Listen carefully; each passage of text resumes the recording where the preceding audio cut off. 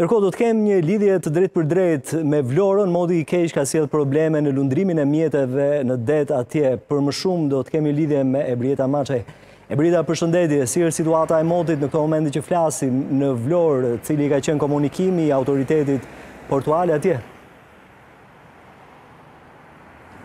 Në fakt duhet thënë se situata meteorologjike për momentin është e qetë në Vlorë, gjithsesi përkeqësimi i kushteve hidrometeorologjike ka sjellë pezullimin e lundrimit të mjeteve të vogla dhe atyre të peshkimit në portin e Vlorës, sipas njoftimit të kapitenerisë së portit, dallgët janë të forcës deri në 5 ballë brenda gjirit dhe deri në 7 ballë jashtë gjirit, për këtë arsye Kapiteneria e portit ka njoftuar pronarët e mjeteve të vogla dhe atyre lundruese dhe mjeteve të peshkimit që të sigurojnë mjetet e tyre në vende të sigurta, ndërkohë që nga Kapiteneria e Portit është bërë me dije se nuk do të pezullohet transporti ndërkombëtar, pra detar i tragetit Vlorë Brindisi, ndërsa përmirësimi i situatës meteorologjike sipas Kapitenerisë pritet të jetë data shtatëmbëdhjetë, pra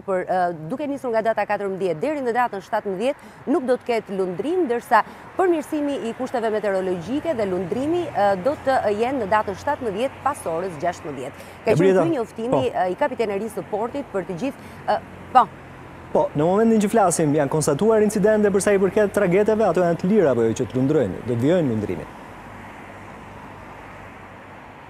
Po, nuk ka asnjë lloj problemi, të paktën deri në këto momente nga njoftimi i autoriteteve portuale për sa i përket lundrimit të tragetit Vlorë Brindisi, i cili ka kanë vijuar në fakt të operojë normalisht sipas orareve të përcaktuara. Ebrieta, të falenderoj.